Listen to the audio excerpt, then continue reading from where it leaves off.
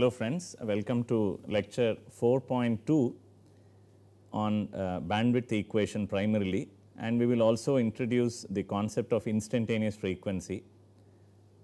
So, this is a continuation of what we have discussed in lecture 4.1. The objective again is to learn the specific concepts in time frequency analysis which is the bandwidth equation for TFA that is in the context of time frequency analysis and then uh, obtain an introduction to the concept of instantaneous frequency. We will continue the discussion on instantaneous frequency in the next lecture. So, let us begin uh, with these signal representations, complex representations. We concluded the last lecture with an example on why and how complex representations can help us in rightly determining the center frequency of even a simple uh, sine wave. So, therefore, we will assume uh, henceforth that I would like to work with complex representations. So, this is a complex representation for x of t and here I have the complex representation for x of omega.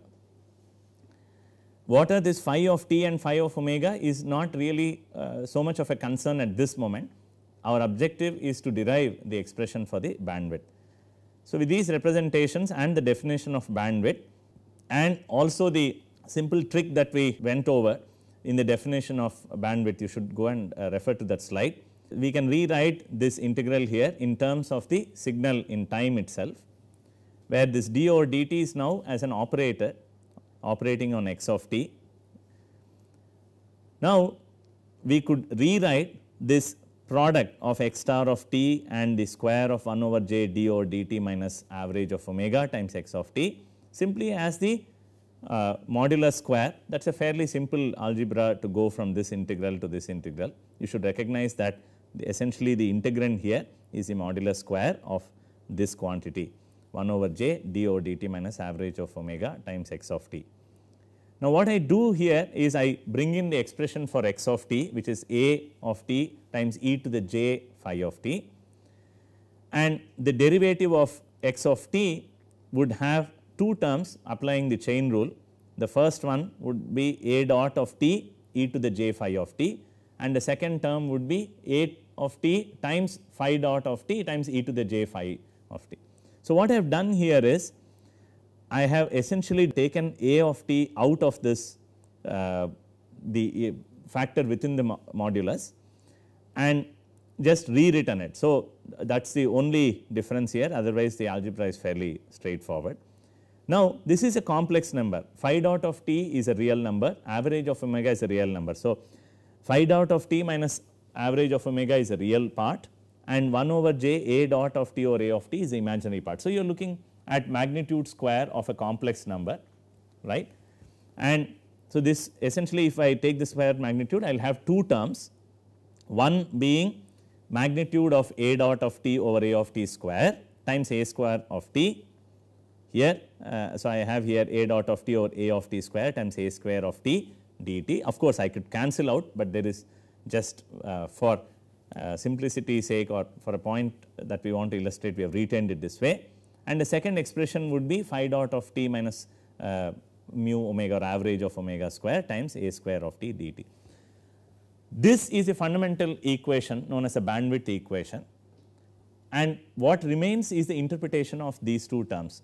Because this first term goes to 0 whenever a of t is constant that is whenever a dot of t is 0. That means, whenever there is no amplitude modulation this a dot is nothing but the deriv derivative of a of t. Whenever there is no amplitude modulation this term would vanish and whenever a of t is non-zero this term will uh, exist and therefore, this term solely uh, accounts for the amplitude modulation contributions to the bandwidth and here I have phi dot of t minus average of omega square a square of t dt. Now, look at this way a square of t dt is nothing but my energy density in time all right and average of omega is the mean uh, frequency here and I also have here phi dot of t. At this moment although I say frequency modulation it is not immediately clear why this should be frequency modulation unless phi dot of t really only has some units of frequency or can be given some interpretation of the frequency. So, how do we interpret this change of phase with respect to time? Remember phi of t is called the phase as we had even defined earlier uh, in the basic definitions module. It has units of frequency obviously because you are subtracting the average frequency. So, to understand phi dot of t we go back to the definition of mean frequency. Again invoke the definition. Rewrite the same definition in terms of x of t rather x star of t and x of t both. And what we do here is we substitute again for x of t the signal representation that I have here and obtain this expression. Now, if I look at this expression the left hand side is a real number. Average of omega is a real number whereas on the right hand side I have two terms the first term is a purely real number which is integral phi dot of t times a square of t dt and the second term is a real uh, imaginary number. I, I have a real number on the left hand side and I have a right uh, complex number on the right hand side. So, if things have to agree I know this definition is I have started from the definition. So, everything is consistent.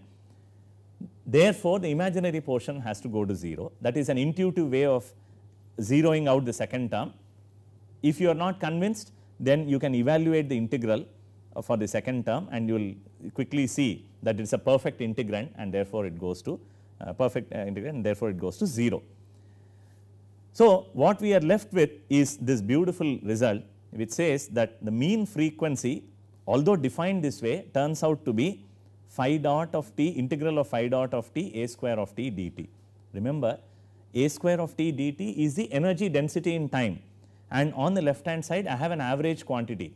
Therefore, phi dot of t has to have some interpretation of a instantaneous frequency and that is very important. So, what we are saying is on the left hand side I have average. How do I obtain averages? The way I obtain averages is I take the instantaneous value and roughly weigh it with the energy density times dt and take the integral. That is how we have even derived the mean time. Now, that is the same story here.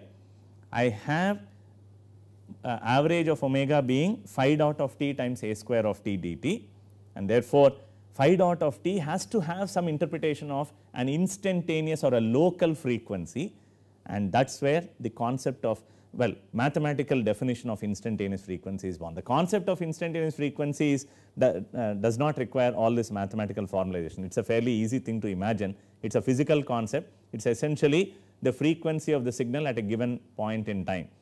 But this paves way for the mathematical definition of instantaneous frequency. It is essentially the derivative of the phase, which phase when I this phase that appears in the complex representation of the signal, right.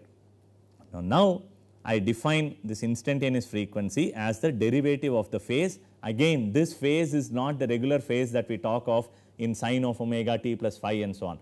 This phase is the phase that appears in the complex representation of the signal. In particular, we will say that the analytical representation of a signal. Now, of course, what remains to be seen is whether this mathematical definition tallies and in reality gives me the correct value of the instantaneous frequency of a signal and so on. That is something that we will discuss later on. But clearly, because phi dot of t is in general a function of time, this omega is also a function of time denoted by the subscript i and now we return to the bandwidth equation in place of phi dot of t I substitute omega i of t. So, this term now is nice uh, is ready for interpretation. I uh, I can straight away interpret this as the contribution of the frequency modulation because whenever there is a frequency modulation frequency is going to change with time in which case omega i is not going to be equal to the average frequency. But when I have a sine wave of a fixed frequency, then the instantaneous frequency is going to be fixed in time exactly equal to the average frequency itself. Therefore, this term will go to 0. In other words, when there is no frequency modulation, there is uh, this term will vanish and whenever there is a frequency modulation, this in general will exist and therefore, I can say this term contributes uh, represents the frequency modulation contributions to the bandwidth. So, now I have this beautiful equation here in equation 8. The bandwidth is a sum of two terms. one due to amplitude modulation, other due to frequency modulation. This is a normalized version of this expression. This goes on to show that the bandwidth by itself cannot tell me whether the signal was being amplitude modulated or frequency modulated. In fact, I can uh, think of this signal that is given to me as another signal with a different amplitude modulation and frequency modulation, so that the overall bandwidth is the same for both. That is exactly the example that we had discussed in the previous lecture and we return to that. I have here this same signal expression that I have given earlier. Now, look at this. So, this part here represents the amplitude modulation alpha by pi raised to 1 over 4 times e to the minus alpha t square by 2 and e to the j beta t square by 2 represents the frequency uh, uh, contributions and frequency modulation. If you plug in this expression into the expression for the bandwidth, you can derive sigma square omega as alpha square plus beta square by 2 alpha. alpha when alpha is 0, uh, you can say that essentially the signal is 0 of course, but when alpha goes to very small value, uh, then the amplitude modulation comes down.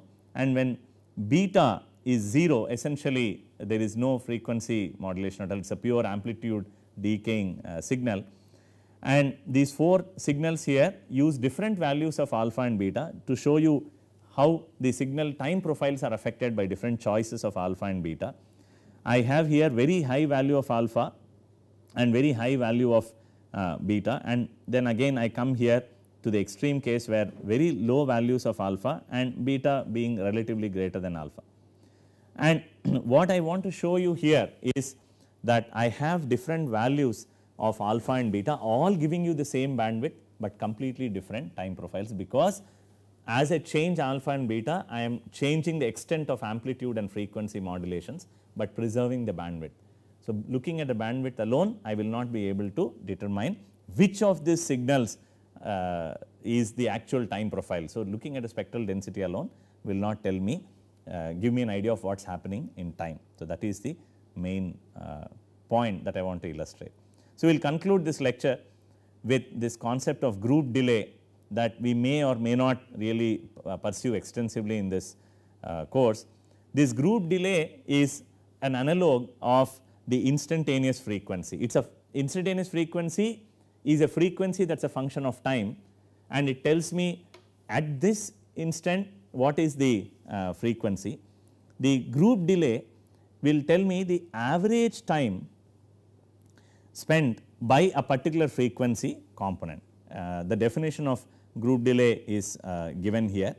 Okay, it is essentially remember our instantaneous frequency was based on phi of t here the phase in the complex representation of x of t. So, naturally you should expect the group delay to be the uh, dependent on the phase, but of the complex representation of its Fourier transform and that is exactly what has occurred here. So, I have group delay as a negative derivative of psi prime of omega. Again in order to derive the instantaneous frequency, we started with the definition of mean frequency. In order to derive the group delay, we start with the definition of average time and then we realize that the average time can be represented as psi prime of omega times mod x of omega square d omega. Once again the same interpretations and arguments can be given here. Psi prime of omega should represent some local function of time, a function of omega which has units of time so that it is averaged by this spectral density to give me average time and therefore, uh, because of the negative sign here the group delay is the negative derivative of psi of omega. As I said group delay has interpretation that it is the average time spent by this frequency component of frequency omega in the signal. So, that is a nice piece of information as well. I would like to know basically maybe there is some frequencies which are spent longer time in the signal, some frequencies which are spent shorter times that will help me in feature extraction and uh, analysis of the signal. So, these are a couple of uh, references again for your reading. In the next lecture, we are going to talk about instantaneous frequencies and analytic signals. Thank you.